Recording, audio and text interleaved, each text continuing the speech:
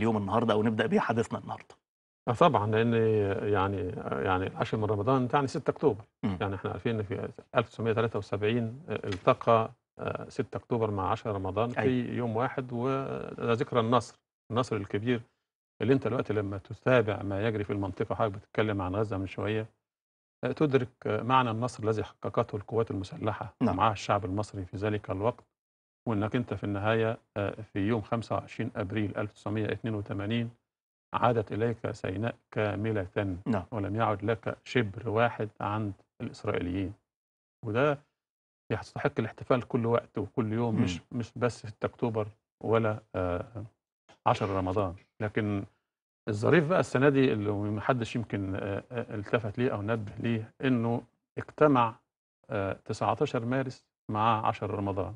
ودي جديدة. لأن إيه 19 إيه مارس؟ الدلالة؟ 19 مارس اللي هو عادت فيه آه، طابة. آه. 19 مارس اللي هو امبارح والنهاردة 10 رمضان يعني يومين جايين ورا بعض. مم.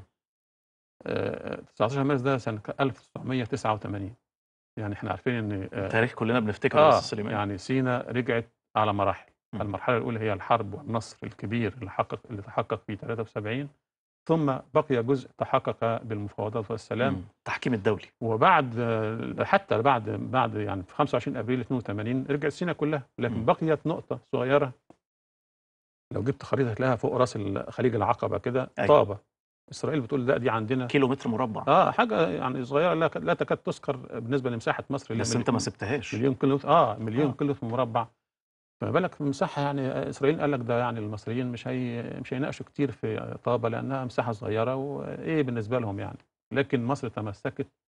وفضلنا سبع سنين تصور يبين لك بقى إنه التصميم والإصرار الذي كان في 10 رمضان و6 أكتوبر كان موجودا أيضا في في موضوع طابة.